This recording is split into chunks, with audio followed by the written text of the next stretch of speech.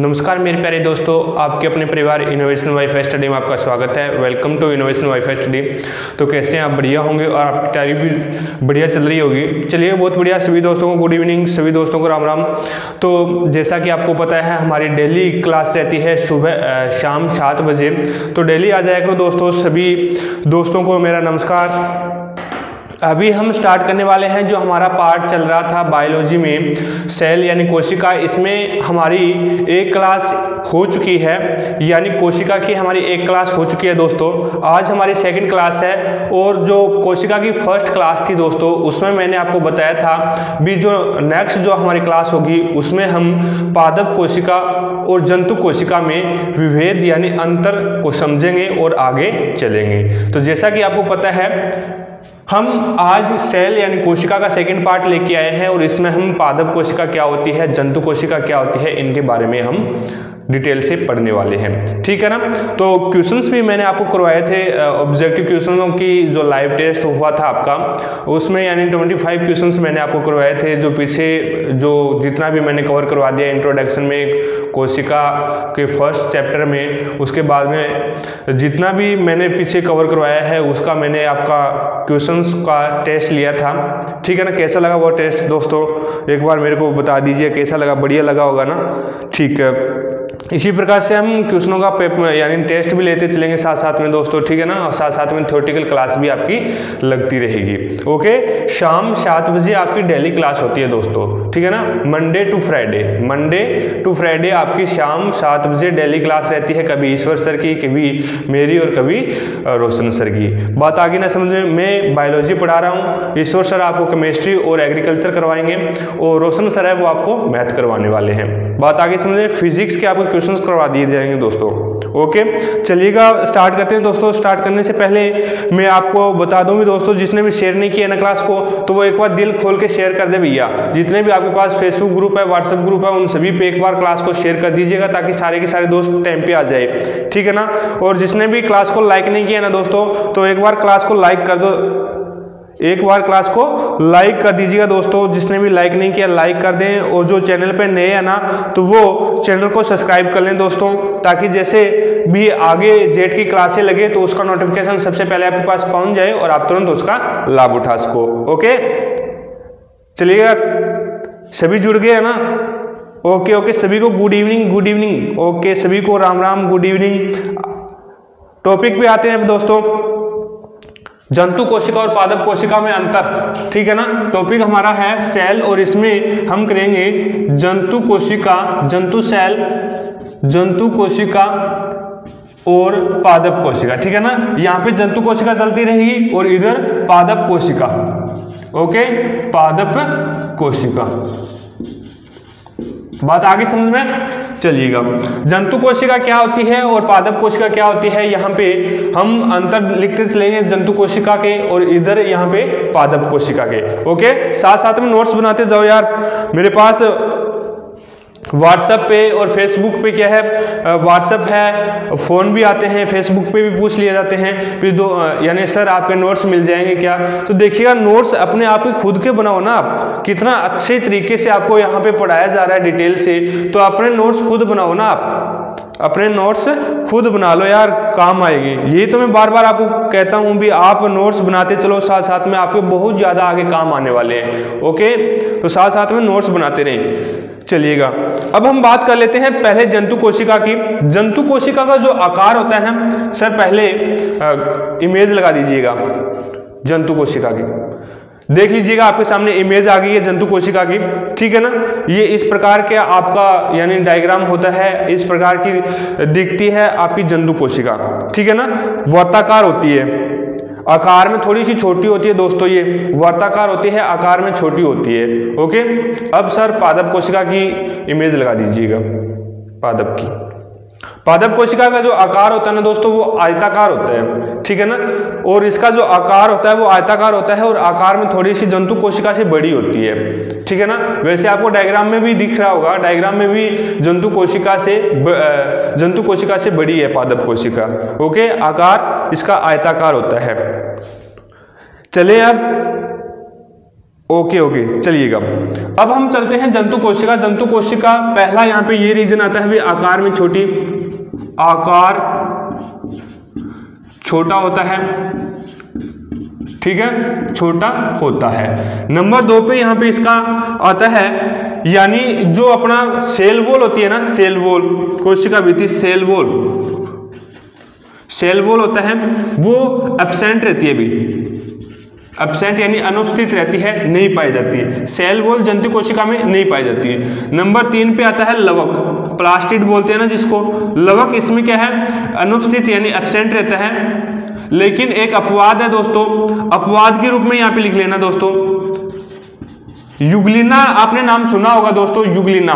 ठीक है ना? युगलिना में पाया जाता है।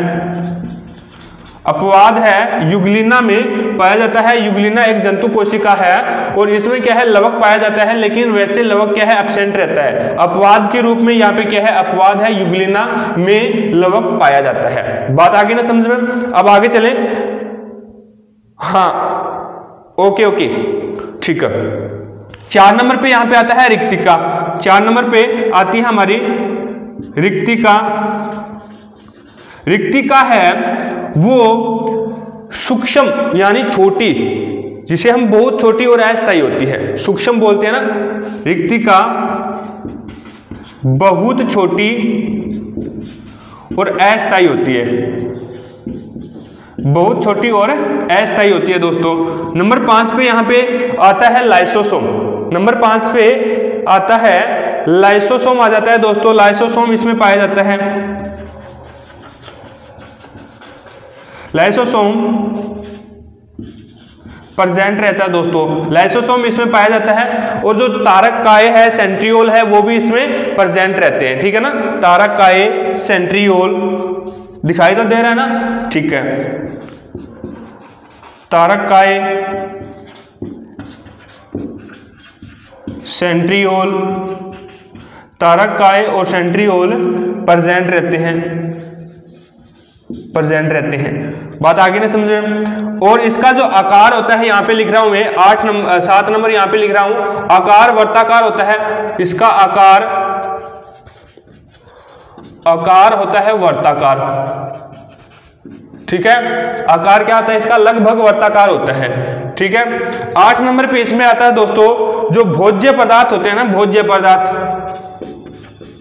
भोज्य पदार्थ। भोज्य पदार्थ होते हैं, वो ग्लाइकोजन और वॉल्यूटिन के रूप में वॉल्यूटिन के कणों के रूप में संचित रहते हैं, ठीक है ना? ग्लाइकोजन ग्लाइकोजन व वॉल्यूटिन ठीक है ना? ग्लाइकोजन व वॉल्यूटिन के कणों के रूप में संचित रहते हैं। कणों के रूप में संचित रहते हैं। बात आगे भी समझ में? ये है अपनी जंतु कोशिका। ये अपनी जंतु कोशिका है। भी जंतु कोशिका का आकार लगभग छोटा होता है। बात आगे समझे? दूसरा मैंने लिखा है सेल वॉल। दूसरा मैंने बताया आपको सेल वॉल यानी कोशिका भित्ति, सेल वॉल है वो यहाँ पे क्या है? अपसेंट रहती है। सेल वॉल यहाँ पे अपसेंट रहेगी। लवक है, वो भी अपसेंट रहता है। लवक है, वो भी अपसेंट रहता है, लेकिन अपवाद के रूप में युगलिना में पाया जाता है। युगलिना में अपना लवक पाया जाता है। ठीक है ना? अब रिक्तिका है, वो बहुत छोटी और अस्थायी होती है। बहुत छोटी और अस्थायी होती है। लाइसोसोम है, वो इसमें प्रेजेंट रहता है, लाइसोसोम पाया जाता है। ठीक है ना? तारक काय सेंट्रियोल, ये भी इसमें क्या है? प्रेजेंट रहते हैं, यानी पाए जाते हैं। अब यहाँ पे आकार में ये वर्ताकार होती है, लगभग मैंने आपको डायग्राम दिखाया था। आकार में क्या है? ये वर्ताकार होती है। भोज्य पदार्थ है। भोज्य पदार्थों का जो संचय होता है ना जंतु कोशिका में वो ग्लाइकोजन व वॉल्यूटिन के कणों के रूप में होता है। बात आगे समझे? अब यहाँ पे क्वेश्चन देखिएगा, क्या बनेगा? भी जंतु कोशिका में भोज्य पदार्थों का संचय किस रूप में होता है?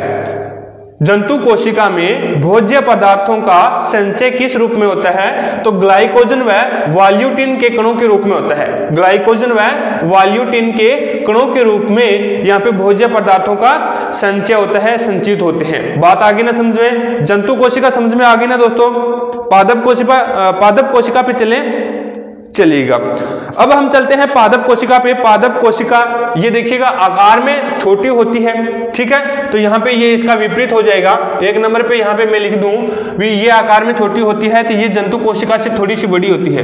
जन, जंतु कोशिका से जंतु कोशिका से बड़ी। बात आगे समझे? जंतु कोशिका से बड़ी होती है। नंबर दो पे यहाँ पे है सेल वोल। सेल वोल है वो एबसेंट रहती है लेकिन यहाँ पे क्या रहेगी?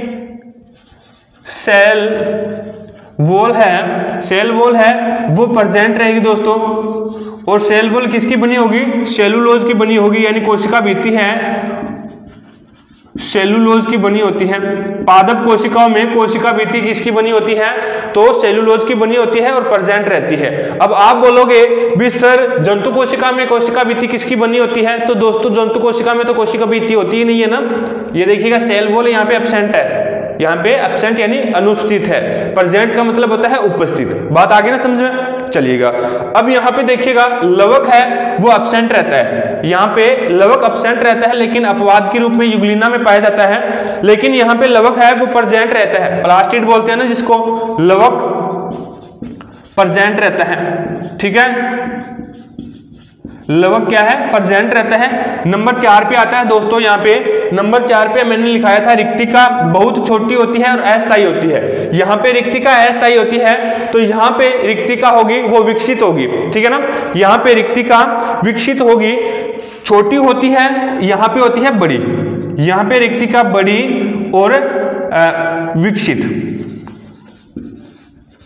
विकसित होगी। ठीक है ना?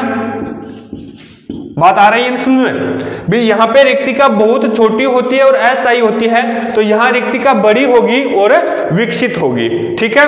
अब यहाँ पे देखिएगा, लाइसोसोम प्रेजेंट रहता है तो यहाँ पे पाँच नंबर पे आ जाएगा लाइसोसोम।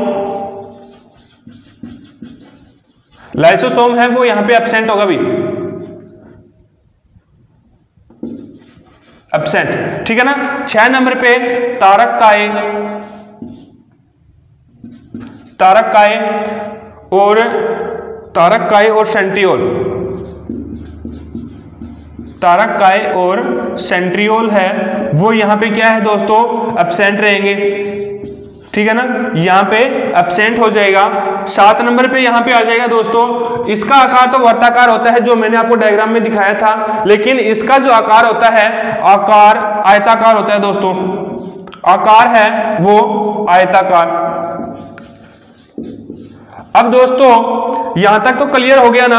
अब यहाँ पे बात आती है, इसमें जो भोजन होता है, इसमें भोज्य पदार्थ होता है, वो मंड व कवक के रूप में संचय होता है, ठीक है ना? मंड व, यहाँ पे ऊपर लिख देता हूँ मैं। भोजन पदार्थ है, वो मंड व कवक के रूप में संचय होता है। ठीक है ना? अब यहाँ पे क्वेश्चन ये बनेगा भी पादप कोशिका में भोज्य पदार्थों का संचय किस रूप में होता है? तो आपका राइट आंसर होगा मंड व कवक के रूप में संचय होता है। ये थी अपनी जो तो जंतु कोशिका और पादप कोशिकाओं में अंतर। ठीक है ना? किसी को अगर स्क्रीनशॉट लेना है तो स्क्रीनशॉट ले सकता है दोस्तों। ठीक है ना? मैं दोबारा दोबारा से फिर से बता दूँगा स्क्रीनशॉट ले लो एक बार आप। ठीक है ना? साथ साथ में नोट्स बनाते चलो आप। ओके चलिएगा।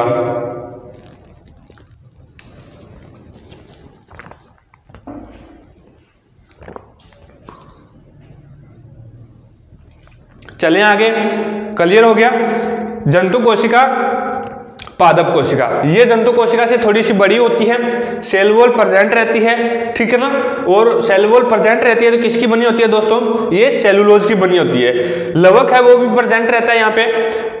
ये रिक्तिका है, वो बड़ी होती है और विकसित होगी। इसमें पादप कोशिकाओं में रिक्तिका बड़ी और विकसित होगी। लाइसोसोम एबसेंट रहेगा यहाँ पे। सेंट्रियोल और तारक काय है, वो भी यहाँ पे एबसेंट रहेंगे, ठीक है ना? आकार जो अपना पादप कोशिका है, इसका आकार क्या होगा? आयताकार होता है। लगभग आयताकार होता है। ठीक है ना? भोज्य पदार्थों का जो संचय होता है, वो मंड व कवक के रूप में होता है। मंड व कवक के रूप में पादप कोशिकाओं में भोज्य पदार्थों का यहाँ पे दिखाई नहीं दे रहा है। है ना? यहाँ पे दिखाई नहीं दे रहा है। मैंने लिखा है भोज्य पदार्थों, भोजन पदार्थ मंड व कवक के रूप में संचय रहता है, ठीक है ना? भोज्य पदार्थ नाम है यहाँ पे, ये भोज्य पदार्थ है, भोज्य पदार्थों का मंड व कवक के रूप में संचय रहता है। बात आगे ना समझ में? अब चलें आगे दोस्तों। Okay okay. साथ साथ में शेयर करते रहे दोस्तों यार। शेयर कर दिया करो यार जनसंख्या है ना वो बहुत कम है आपकी, ठीक है ना? जनसंख्या बहुत कम है, हम इतनी मेहनत से आपके लिए यार क्लासें लेके आते हैं और आप अपने दोस्तों के पास शेयर भी नहीं करते हो तो देखिएगा इस तरीके से तो काम चलने वाला नहीं है, ओके? तो आप एक बार अपने दोस्तों के पास जितने भी आपके पास फेसबुक ग्रुप और व्हाट्सएप ग्रुप है ना, उन पे एक बार शेयर कर दो, ठीक है ना? उन पे एक बार शेयर कर दीजिएगा क्लास का ताकि सारे के सारे दोस्त आ जाए। पढ़ने का मज़ा कब आता है दोस्तों?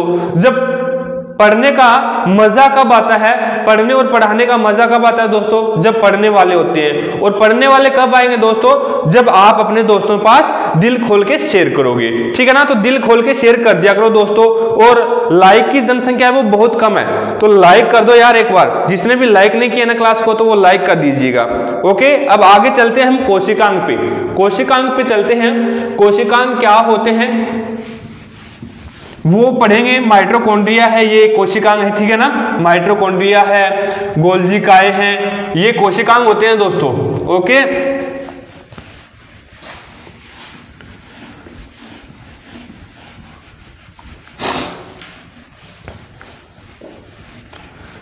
आपकी जनसंख्या जैसे ही ज़्यादा हो जाएगी ना दोस्तों तो हम क्या करेंगे? भी आपकी एक ही दिन में सारी की सारी क्लासें लगा दी जाएगी। केमिस्ट्री की क्लास है एग्रीकल्चर की क्लास है बायोलॉजी की क्लास है मैथ की क्लास है और अपने फिजिक्स की क्लास है वो सारी की सारी एक ही दिन में हुआ करेगी। ठीक है ना? अब तो ये है भी एक दिन आपकी बायोलॉजी की होगी एक दिन आपकी एग्रीकल्चर की क्लासें हो, जाती है अगले दिन आपकी क्या है? केमिस्ट्री की क्लासें होती है अगले दिन उससे अगले दिन आपकी मैथ की क्लासें होती है इस प्रकार से चलती है। लेकिन मैं आपसे वादा करता हूँ, दोस्तों, अगर आपकी जनसंख्या ज़्यादा हो जाएगी तो आपकी रेगुलर सारी की सारी क्लासें एक ही दिन में लगेगी। यानी ये मान लो भी सात बजे आपकी क्लासें हैं, सात बजे ये मान लो भी एग्रीकल्चर की लगी है तो आठ बजे है, वो आपको बायोलॉजी की क्लासें लग जाएगी। उसके बाद में नौ बजे है, वो आपको केमिस्ट्री की क्लासें उसके बाद में दस बजे वो आपको मैथ की, ग्यारह बजे आपकी फिजिक्स की क्लासें इस प्रकार से एक ही दिन में सारी की सारी क्लासें लगेगी। ओके तो शेयर कर दो यार एक बार, ठीक है ना? दिल खोल के शेयर कर दो। अब चलिएगा, बात करते हैं कोशिकांग की। कोशिकांग क्या होते हैं? कोशिकांग क्या होते हैं? ठीक है ना? कोशिकांग क्या होते हैं दोस्तों? यहाँ पे देखिएगा, कोशिकांग, एक कोशिका जिन जीवित घटकों से मिलकर बनी होती है एक कोशिका जिन जीवित घटकों से मिलकर बनी होती है उसे हम कोशिकांग बोलते हैं। बात आगे समझ में? एक कोशिका एक सेल जिन जीवित घटकों से मिलकर बनी होती है उसे हम कोशिकांग बोल, बोलते हैं। कोशिकांग की डेफिनेशन है ये दोस्तों। डेफिनेशन लिख लो भी एक कोशिका एक कोशिका जिन जीवित घटकों से मिलकर बनी होती है। मिलकर बनी होती है। उसे क्या बोलते हैं अपने? कोशिकांग बोलते हैं दोस्तों, ठीक है ना? कोशिकांग बोला जाता है, ओके? कोशिकांग कहते हैं। एक कोशिका जिन जीवित घटकों से मिलकर बनी होती है, उसे अपने, क्या बोलते हैं, कोशिकांग बोलते हैं। अब कोशिका में समस्त कोशिकांग, कोशिका में जो समस्त कोशिकांग है, वो कोशिका दरो ठीक है ना? कोशिका द्रव और केंद्रक द्रव में पाए जाते हैं। ठीक है ना? केंद्रक द्रव में पाए जाते हैं। अब हम इसको अलग करके पढ़ेंगे दोस्तों। पहले हम पढ़ रहे हैं कोशिका द्रव यानी जो कोशिकांग है कोशिकांग है, वो कोशिका के यानी कुछ एक तो कोशिकांग ऐसे होते हैं जो केंद्रक द्रव में पाए जाते हैं और कुछ एक कोशिकांग ऐसे होते हैं जो कोशिका द्रव में पाए जाते हैं। अब यहाँ पे मैं अलग कर दूँगा भी कोशिका द्रव में कौन कौन से कोशिकांग मिलते हैं अपने को और जो केंद्रक द्रव है, उसमें कौन से कोशिकांग मिलते हैं। ठीक है ना? चलिएगा। यहाँ पे पहले आप हेडिंग डालिएगा, कोशिका द्रव में कौन कौन से कोशिकांग मिलते हैं? कोशिका द्रव में कौन कौन से कोशिकांग मिलते हैं? कोशिका द्रव। कोशिका द्रव में कौन कौन से मिलते हैं भाई? एक नंबर पे आता है माइट्रोकॉन्ड्रिया माइटोकॉन्ड्रिया, ठीक है ना? ये भी कोशिका द्रव में मिलता है। नंबर दो पे आता है गोल्जी काय काय ठीक है? और नंबर तीन पे आता है, नंबर तीन पे आपका आ जाएगा endoplasmic reticulum. Endoplasmic endoplasmic reticulum. बात आ गई समझ में? नंबर चार पे यहाँ पे आपके पास आ जाता है दोस्तों, प्लास्टिड।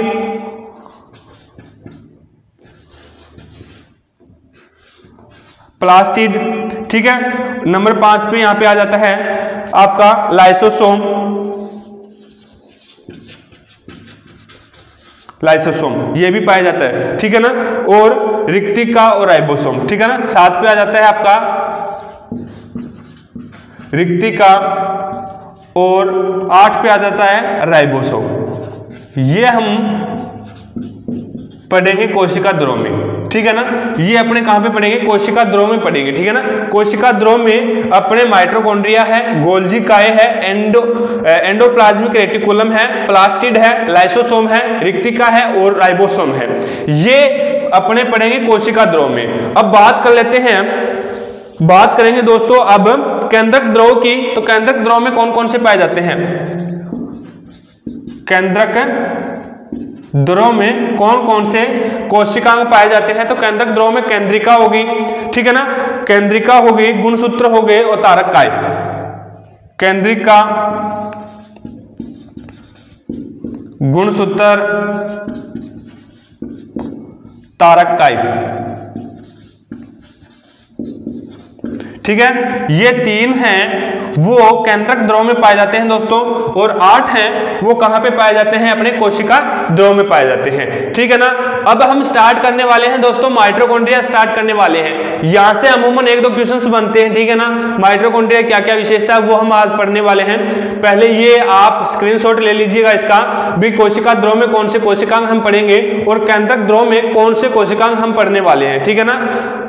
साथ साथ में नोट्स बनाते रहें। इसी प्रकार से जो मैं आपको लिखा रहा हूँ ना, इसी प्रकार से आप अपने नोट्स बनाते रहें। भी अलग अलग कोशिका द्रव में हम आठ कोशिकांग पढ़ेंगे। केंद्रक द्रव में हम तीन कोशिकांग पढ़ेंगे। टोटल कोशिकांग कितने हो गए इलेवन हो गए इलेवन कोशिकांगों की हम इंक्वायरी करेंगे। जानकारी लेंगे। ठीक है ना दोस्तों? क्लियर हो रहा है ना? अच्छे तरीके से समझ में आ रहा है ना सब कुछ? चले आगे। माइट्रोकॉन्ड्रिया हेडिंग डालो। कोशिका द्रव में उपस्थित कोशिका लगा के हेडिंग डालो माइट्रोकॉन्ड्रिया सबसे पहले हम पढ़ेंगे माइट्रोकॉन्ड्रिया पढ़ने वाले। हैं ओके चलिएगा। शेयर कर दिया करो यार, दो सेकंड लगते हैं शेयर करने में। शेयर का बटन कोई दबाना ही नहीं चाहता है। तो आपकी क्लासें फिर किस प्रकार से लगेगी? है ना? तो शेयर का बटन दबा दिया करो यार, आते ही क्लास का। ठीक है ना?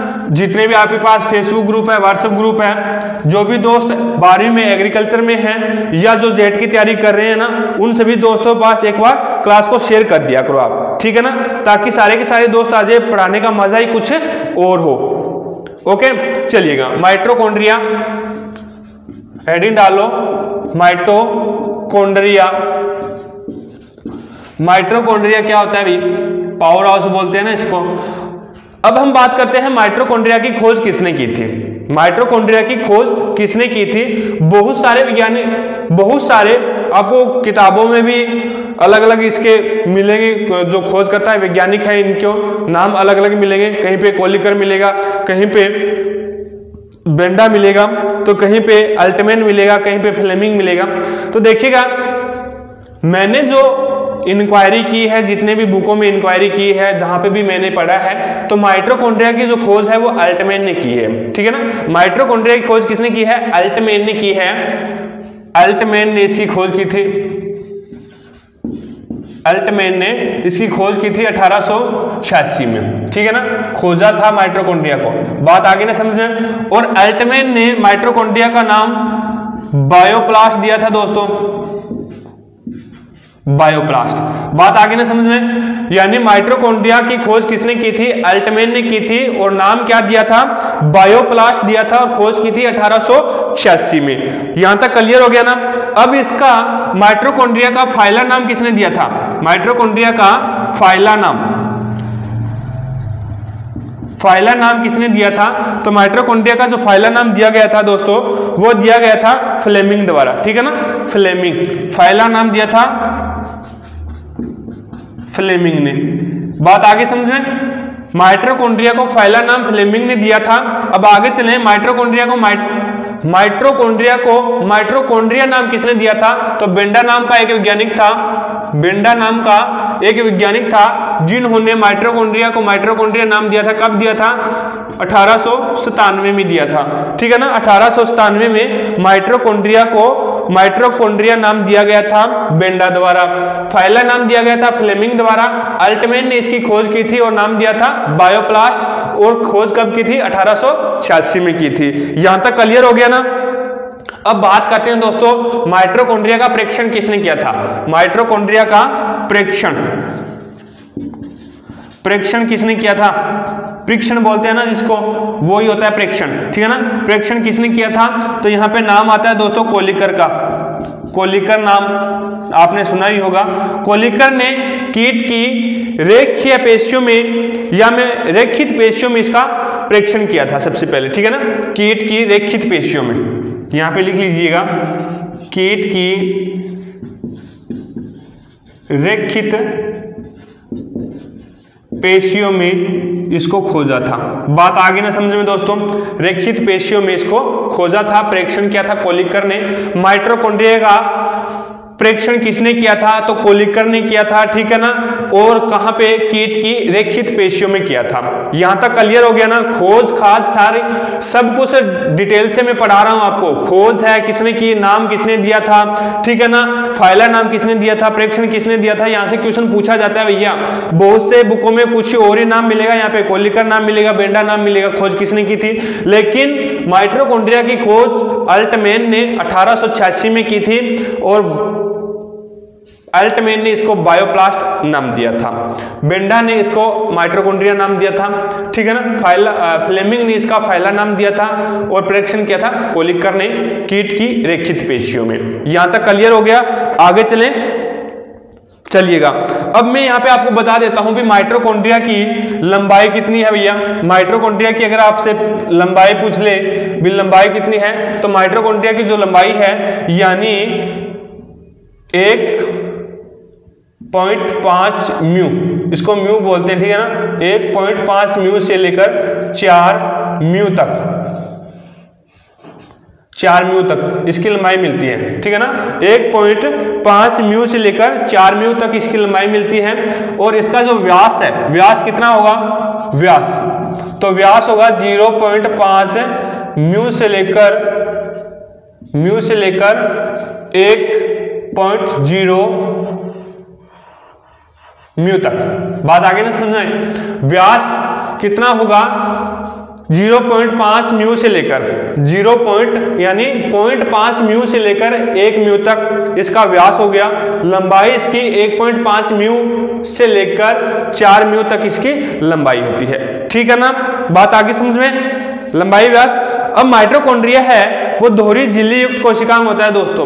दोहरी झिल्ली युक्त कोशिकांग होता है, यानी दो झिल्लियाँ पाई जाती है, बाह्य झिल्ली और आंतरिक झिल्ली। बाह्य झिल्ली और आंतरिक झिल्ली के बारे में भी हम पढ़ने वाले हैं। यहाँ तक क्लियर हो गया क्या? पहले ये बताओ। यहाँ तक क्लियर हो गया। आगे चले क्या दोस्तों? चलिएगा, हम बात कर लेते हैं बाह्य झिल्ली क्या होती है और आंतरिक झिल्ली क्या होती है। स्क्रीनशॉट ले लिया ना। रफ कर रहा हूँ मैं इसको। ओके चलिएगा।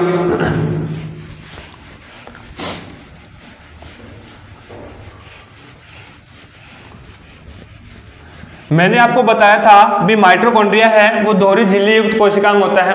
ठीक है ना? दो झिल्लियाँ पाई जाती है इसमें। दोहरी झिल्ली युक्त कोशिकांग होता है। अब हम बात कर लेते हैं बाह्य झिल्ली की। बाह्य झिल्ली। ठीक है ना? टॉपिक लगा लो, बाह्य झिल्ली क्या होती है? अब बाह्य झिल्ली, यहाँ पे आपको मैं डायग्राम बना के दिखाता हूँ भी ठीक है ना? यह देख लीजिएगा, इस प्रकार से होता है ये। ठीक है ना? इस प्रकार से माइट्रोकोन्ड्रिया इस प्रकार से होते हैं। ठीक है? और इसके अंदर इस प्रकार से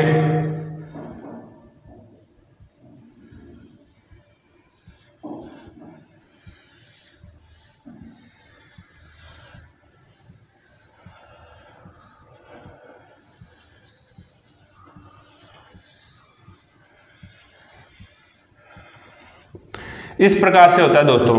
ओके? समझ में आ गया?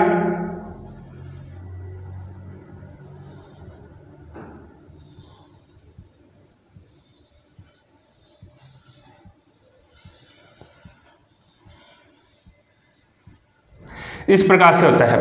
अब आप बोलोगे, भी मैंने आपको बताया था, भी माइट्रोकॉन्ड्रिया है ना, वो दोहरी झिल्ली युक्त कोशिकांग होता है। एक झिल्ली तो ये होगी, पहली झिल्ली, ठीक है? लेकिन ये दूसरी झिल्ली नहीं है दोस्तों। यानी ये इसकी मोटाई है। मोटाई होती है बाह्य झिल्ली की 60 से 70 एंगस्ट्रोम होती है। 60 से 70 एंगस्ट्रोम मानी जाती है। ठीक है ना? तभी मैंने यहाँ पे दो लाइनें खींची है, ठीक है ना? ये इसकी मोटाई है, ये झिल्ली तो एक ही है और ये इसकी मोटाई है।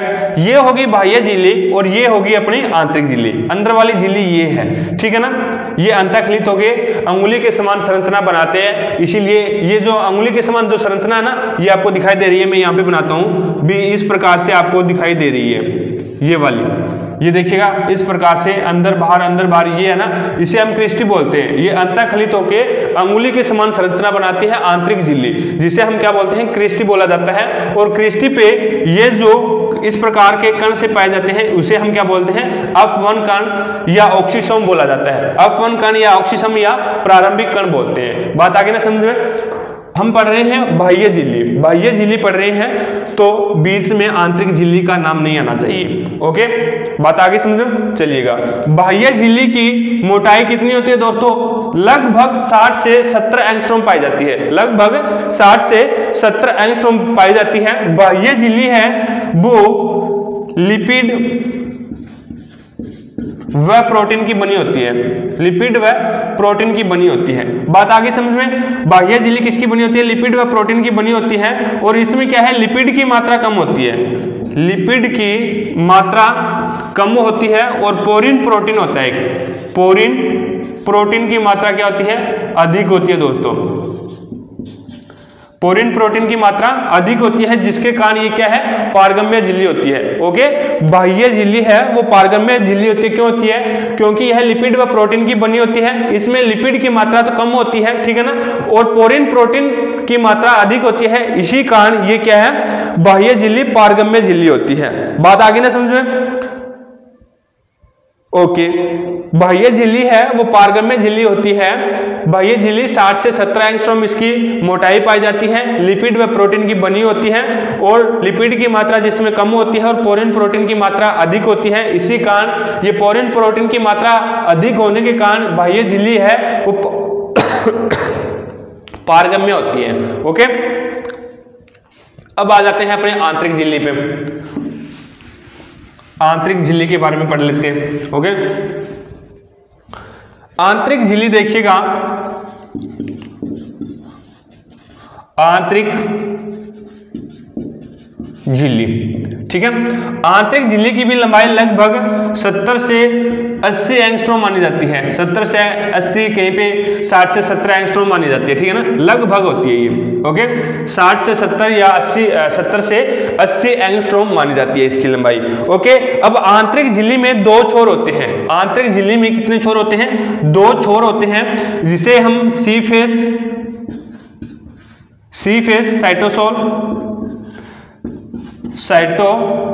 cytosol cytosol बोला जाता है, ठीक है ना? और एक होता है एम फेस एक क्या होता है? एम फेस होता है, जिसे हम क्या बोलते हैं? मैट्रिक्स मैट्रिक्स अब मैट्रिक्स क्या होता है? मैट्रिक्स क्या होता है दोस्तों?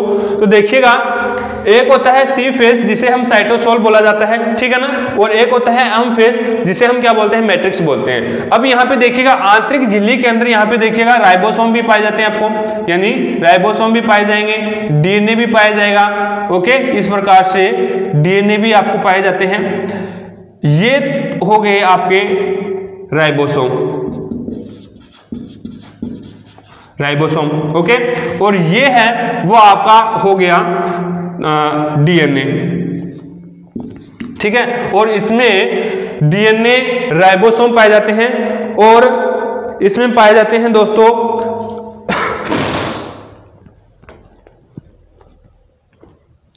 ऑक्सीशोसन एंजाइम भी पाए जाते हैं इसमें, ठीक है ना? ऑक्सीशोसन एंजाइम भी पाए जाते हैं, जिसे हम मैट्रिक्स बोलते हैं। ठीक है ना? इसमें गाढ़ा यानी द्रव भरा रहता है, जेली के समान। जेल जेल के समान क्या है? गाढ़ा द्रव भरा रहता है इसमें, जिसे हम क्या बोलते हैं? मैट्रिक्स बोलते हैं, ठीक है ना? ये जो आंतरिक झिल्ली होते हैं, जिसमें राइबोसोम है, डीएनए ये पाए जाते हैं उसमें क्या है? गाढ़ा द्रव भरा रहता है, ठीक है? गाढ़ा द्रव भरा रहता है जेली के समान होता है, जेल के समान होता है, जिसे हम क्या बोलते हैं? अपने मैट्रिक्स बोला जाता है। बात आगे समझो। अब देखिएगा, आंतरिक जो झिल्ली होती है ना, वो अंत खलित होके, ये देखिएगा, अंदर की ओर ठीक है ना धस के अंगुली के समान क्या है? संरचना बनाती है। अंदर की ओर धस के अंगुली के समान संरचना बनाती है। ओके जिसे हम क्या बोलते हैं? क्रिस्टी बोलते हैं। ये, इसे क्या नाम दिया जाता है? ये जो आपको दिखाई दे रहा है, बीस प्रकार से जो ये संरचना बनी है, इसे हम क्या बोलते हैं? क्रिस्टी बोलते हैं। ठीक है ना? और क्रिस्टियों पे छोटे छोटे कण पाए जाते हैं दोस्तों। क्रिस्टियों पे क्या है? यहाँ पे देखिएगा, मैं क्रिस्टी का एक डायग्राम बनाता हूँ इस प्रकार से। ये क्रिस्टी का डायग्राम है, यही है सेम का सेम ठीक है? इस पे क्या है? छोटे छोटे कण पाए जाते हैं, जिसे ऑक्सीसोम या अफ वन कण बोला जाता है। ऑक्सीसोम कण या फिर अफ वन कण बोलते हैं, ठीक है ना? ये क्रिस्टी हो गया, यहाँ पे डीएनए आ गया राइबोसोम आ गया। बात आगे ना समझ? में अब आगे चले, यहाँ तक समझ में आ गया ना, बाह्य झिल्ली और आंतरिक झिल्ली।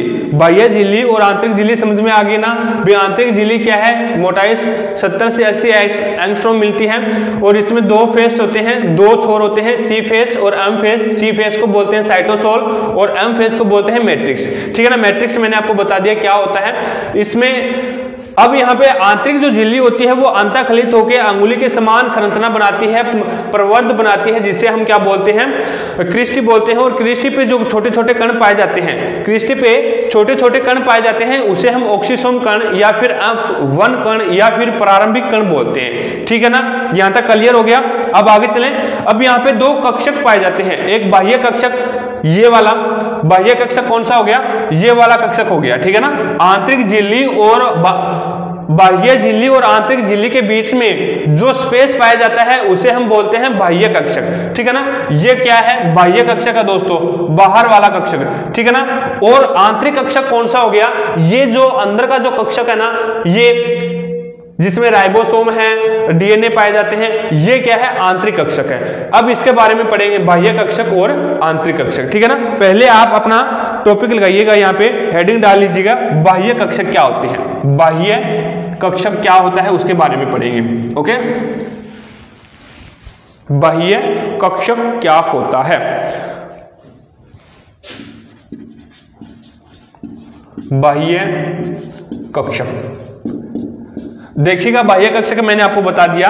भी आंतरिक झिल्ली और बाह्य झिल्ली के बीच के स्पेस जो आपको होता है स्पेस होता है, उसे हम बाह्य कक्षक बोलते हैं। ओके अब देखिएगा माइट्रोकॉन्ड्रिया के बाह्य कक्षक में पाए जाने वाला जो द्रव है, यहाँ जो द्रव पाया जाता है, उसे हम साइटोसोल बोलते हैं। ठीक है ना? उसे हम क्या बोलते हैं? साइटोसोल बोलते हैं। अब मैंने आपको यहाँ पे लिखाया था। आपको याद हो तो हम आंतरिक झिल्ली पढ़ रहे थे। उसमें मैंने आपको बोला था, भी एक तो क्या होता है? सी फेस होता है। सी फेस, जिसे हम क्या बोलते हैं? साइटोसोल बोलते हैं। साइटोसोल ठीक है ना? साइटोसोल बोलते हैं और एक होता है एम फेस दो छोर होते हैं, एक होता है एम फेस जिसे हम क्या बोलते हैं दोस्तों? उसे हम बोलते हैं मैट्रिक्स मैट्रिक्स बोलते हैं। ये मैंने आपको लिखाया था पीछे। अब यहाँ पे देखिएगा, भी माइट्रोकॉन्ड्रिया की बाह्य कक्षक में पाए जाने वाले द्रव को हम क्या बोलते हैं? साइटोसोल बोलते हैं। यहाँ पे जो द्रव पाया जाता है ना, उसे हम क्या बोलते हैं? साइटोसोल बोलते हैं। क्यों बोलते हैं? क्योंकि उस द्रव की संरचना कोशिका द्रव से समान होती है। क्योंकि उस द्रव की जो संरचना होती है ना, वो कोशिका द्रव के समान होती है। उससे इसीलिए हम उसे क्या बोलते हैं? साइटोसोल बोला जाता है। बात आगे ना समझ में? सी फेस साइटोसोल क्या होता है? यानी कोश जो माइट्रोकॉन्ड्रिया होता है, उसके बाह्य बाह्य कक्षक में क्या पाया जाता है? द्रव पाया जाता है। उस द्रव को हम साइटोसोल बोलते हैं। इस द्रव को साइटोसोल क्यों बोला जाता है? क्योंकि इस द्रव की संरचना है, वो कोशिका द्रव के समान होती है। इसीलिए हम इसे साइटोसोल बोलते हैं। बात आगे समझ में? अब हम आगे चलते हैं।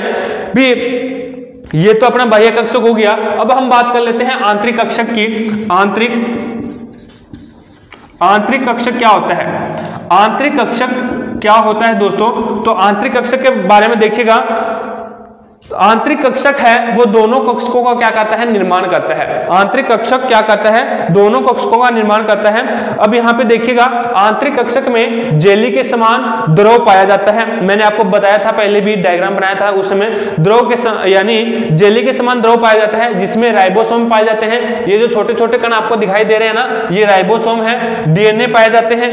राइबोसोम, डीएनए ऑक्सीसो जो ऑक्सीसोसन एंजाइम पाए जाते हैं। ठीक है ना? यहाँ पे क्या पाया जाता है? जेली के समान द्रव पाया जाता है इसमें, ठीक है ना? जेली के समान, जेली के जेली के समान द्रव पाया जाता है। मैंने लिखा है जेली के समान द्रव पाया जाता है, नए दिखे तो जेली के समान द्रव पाया जाता है यहाँ पे, ठीक है ना? इसमें डीएनए पाया जाता है, ठीक है? राइबोसोम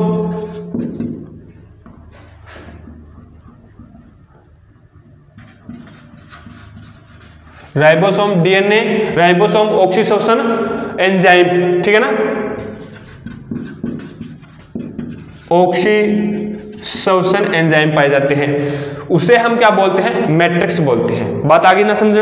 उसे हम मैट्रिक्स बोलते हैं। यानी इसमें जेली के समान द्रव पाया जाता है और इस द्रव में डीएनए भी पाया जाता है, राइबोसोम भी पाया जाता है और अपना क्या पाया जाता है? ऑक्सीसोशन एंजाइम भी पाए जाते हैं। इन सभी को हम क्या बोलते हैं? मैट्रिक्स बोला जाता है। जो मैंने आपको आंतरिक झिल्ली में बताया था, अभी दो फेस होते हैं, दो छोर होते हैं, सी फेस और अम फेस, मैट्रिक्स और साइटोसोल। बात आगे समझे।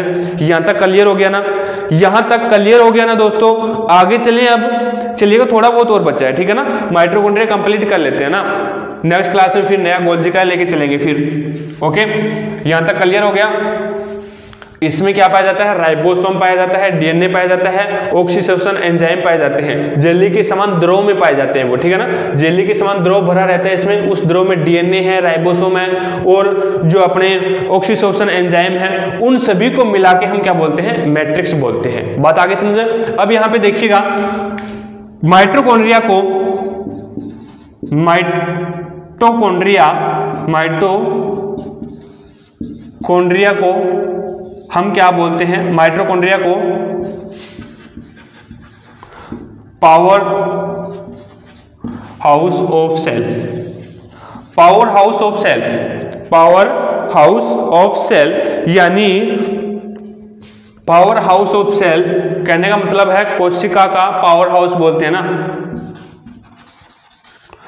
कोशिका का पावर हाउस किसे बोला जाता है? क्वेश्चन ये पूछा जाता है माइट्रोकॉन्ड्रिया को कोशिका का पावर हाउस बोलते हैं, ठीक है ना? कोशिका का पावर हाउस बोलते हैं। पावर हाउस क्यों बोलते हैं भाई? ऐसी इसमें क्या विशेषता है जो इसको पावर हाउस बोलते हैं? गोल्जिका को गोल्जी काई को क्यों नहीं बोला फिर? पावर हाउस बोला, अभी माइट्रोकॉन्ड्रिया में ऐसी क्या विशेषता है कि माइट्रोकॉन्ड्रिया को ही पावर हाउस बोलते हैं? गोल्जी काई को बोल देते भी पावर हाउस अब देखिएगा माइट्रोकॉन्ड्रिया को पावर हाउस इसीलिए बोला जाता है क्योंकि माइट्रोकॉन्ड्रिया में संपूर्ण भोजन का संचय होता है भैया। ठीक है ना? संपूर्ण भोजन का ऑक्सीकरण होता है यहाँ पे। ओके माइट्रोकॉन्ड्रिया में संपूर्ण भोजन का ऑक्सीकरण होता है। इसीलिए हम माइट्रोकॉन्ड्रिया को क्या बोलते हैं? पावर हाउस ऑफ़ सेल बोलते हैं। कोशिका का पावर हाउस बोला जाता है। ठीक है ना? यहाँ से उसको एनर्जी मिलती है। कोशिका को क्या मिलती है? ऊर्जा मिलती है। कोशिका को कोशिका होती है, उसको एनर्जी कहाँ से मिलती है? यहीं से मिलती है, ठीक है ना? ऊर्जा मिलती है। ऊर्जा मिलती है। ऊर्जा मिलती है, ठीक है ना? Power house of cell mitochondria को पावर हाउस बोला जाता है, क्योंकि यहाँ पे भोजन का ऑक्सीकरण होता है और भोजन का ऑक्सीकरण होने पे कोशिका को ऊर्जा मिलती है। अब मैं आपको यहाँ पे दिखाता हूँ, भी आपने ग्लूकोज का नाम सुना होगा। ग्लूकोज का नाम आपने सुना होगा। ग्लूकोज का नाम आपने सुना होगा। अब ग्लूकोज का एक अणु जब टूटता है तो उसमें 36 एटीपी बनते हैं। ठीक है ना? ग्लूकोज का एक अणु टूटता है तो उसमें अपने क्या है थर्टी सिक्स एटीपी बनते हैं। और इन छत्तीस एटीपी में से चौंतीस एटीपी है। चौंतीस एटीपी है, वो माइट्रोकॉन्ड्रिया में बनते हैं दोस्तों। याद रखना, माइटोकॉन्ड्रिया में। माइटोकॉन्ड्रिया में बनते हैं। ग्लूकोज का एक अणु टूटता है तो उसमें 36 एटीपी बनते हैं। ठीक है ना? 36 एटीपी बन, बनते हैं और इन 36 एटीपी में से 34 एटीपी है, वो माइट्रोकॉन्ड्रिया में बनते हैं। 34 एटीपी है, वो माइट्रोकॉन्ड्रिया में बनते हैं। इसीलिए माइट्रोकॉन्ड्रिया को क्या बोला जाता है? पावर हाउस बोला जाता है, यानी कोशिका का शक्ति ग्रह बोला जाता है। ये कोशिका को माइट्रोकॉन्ड्रिया वो कोशिका को क्या ऊर्जा देता है, क्योंकि भोजन का ऑक्सीकरण है, वो माइट्रोकॉन्ड्रिया में ही होता है। तो हमारे यहाँ पे माइट्रोकॉन्ड्रिया समाप्त हो जाता है दोस्तों। ठीक है, जो नेक्स्ट क्लास हमारी रहेगी दोस्तों तो उसमें हम गोल्जी काय है, जो अन्य कोशिकांग बचे हुए हैं, वो कोशिकांग करने वाले हैं। तो दोस्तों, मिलके, एक बार सारे मिलके शेयर कर दीजिएगा अपनी क्लास को, ताकि सारे के सारे दोस्तों के पास चली जाए और सभी दोस्तों को इसका लाभ मिल सके। ठीक है ना? किसी को भी कोचिंग सेंटर की जाने की ज़रूरत न पड़े। यानी कोचिंग सेंटरों में दस हज़ार से ले पाँच हज़ार से लेकर दस हज़ार तक यहाँ पे रुपए लेते हैं। तो इससे अच्छा है भी यहाँ पे फ्री क्लासें लग रही है, कोई आपसे पैसे नहीं लिए जा रहे हैं। ठीक है ना, घर बैठे आप अपने आसानी से तैयारी कर रहे हैं, आसानी से तैयारी कर सकते हैं। इतना डीपली आपको कोचिंग सेंटरों में भी नहीं पढ़ाया जाएगा। ये मेरी गारंटी है। बात आगे ना समझे? ठीक है ना? तो क्लास कैसी लगी है दोस्तों? मुझे कमेंट बॉक्स में कमेंट करके ज़रूर बताना। अगर क्लास आपको पसंद आई है दोस्तों तो आपका हक बनता है लाइक करने का और ज़्यादा से ज़्यादा अपने दोस्तों के पास शेयर करने का। जितना भी आपके पास फेसबुक ग्रुप है व्हाट्सएप ग्रुप है उस पर एक बार क्लास को शेयर कर दीजिएगा। और चैनल पर नए हैं तो चैनल को सब्सक्राइब कर लें। पास में लगे बेल आइकन को प्रेस कर लें, ताकि जैसे ही जेट की क्लास लगे तो उसका नोटिफिकेशन सबसे पहले आपके पास पहुँच जाए दोस्तों, और आप तुरंत उसका लाभ उठा सको। नेक्स्ट क्लास में मिलेंगे दोस्तों। कुछ नए के साथ जय हिंद जय भारत।